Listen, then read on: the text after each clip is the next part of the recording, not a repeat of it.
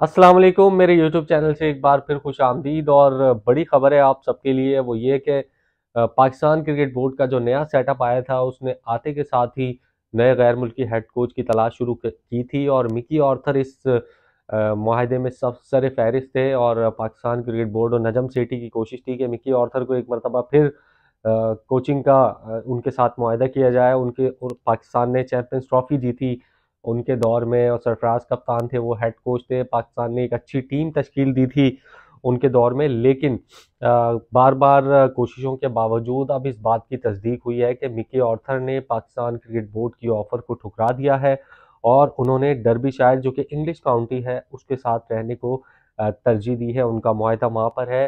Pakistan cricket board के मुताबिक उनको कंसल्टेंट बनाने के लिए भी भरपूर कोशिशें की गई, लेकिन मिकी ऑर्थर ना माने और उन्होंने वहीं रहने को तरजीह दी है। तो ये अभी तक की अपडेट थी और अब पाकिस्तान क्रिकेट बोर्ड का कहना है कि मिकी ऑर्थर के बाद जो दीगर हमारे पास जो नाम हैं, उनकी तलाश जो है वो जारी रहेगी, जिसमें एंडी फ्लावर हैं, जो कि मुल्तान सुल्तान के कोच हैं।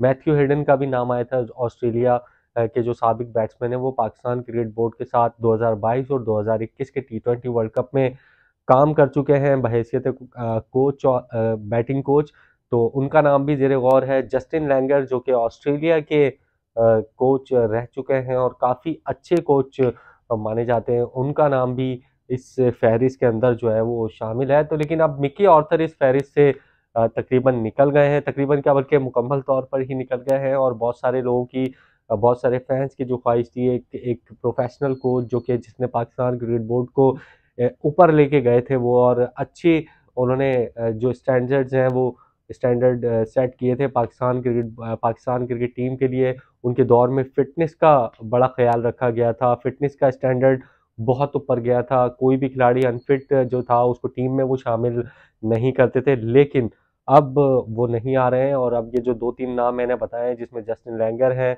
एंडी फ्लावर हैं, और भी दो तीन नाम हैं जो कि जिनसे पाकिस्तान क्रिकेट बोर्ड कोशिश कर रहा है।